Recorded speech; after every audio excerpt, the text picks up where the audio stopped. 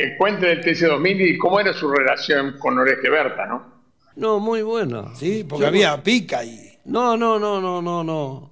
Es una amistad.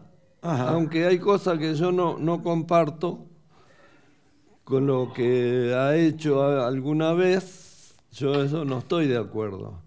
Pero eh, hay, hay eh, muchas cosas que estamos de acuerdo y, y tenemos buena relación. Vos me invitaste una vez a correr en TC2000 y yo corrí con la, eh, Con con la- la Taunus. con la Taunus, Dos carreras sí, que sí. vos me hiciste acordar muy bien. hoy. Sí. Más memoria que yo tiene. La tabla Hablando- que corría el flaco. ¿Cómo manejaba Concho José?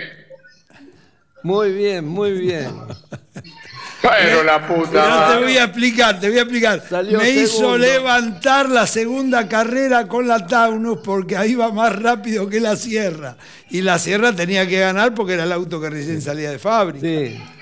Lo, lo que pasa que a veces los pilotos, eh, yo los manejaba los pilotos. Le tenía que decir cuando tenía que ir ligero y cuando tenía que ir despacio. Se presentaban dos cosas.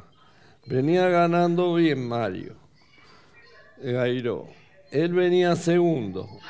Entonces le hago seña a él y le hago seña a Mario, que vaya despacio. Tranqui, más tranquilo. veníamos bien los dos, sí. Claro, entonces eh, una vez me pasó eso también en General Roca con Mario Gairo y Tito Besone.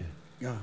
Porque Tito empezó a tocar los amortiguadores eh, con su mecánico, todo eso. Y bueno, y lo desparramó al auto. Entonces le digo, no, de- deja, deja. El auto tiene que ir así, así, así. este,